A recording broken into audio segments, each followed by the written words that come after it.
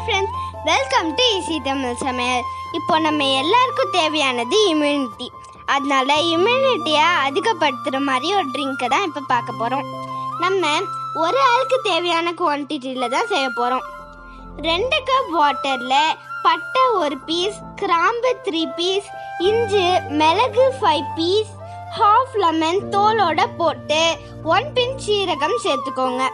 இதெல்லாம் சேர்த்து நல்லா கொதிக்க வச்சுக்கோங்க. டூ கப் ஒன் கப்பாக வர வரைக்கும் கொதிக்க வச்சுக்கோங்க.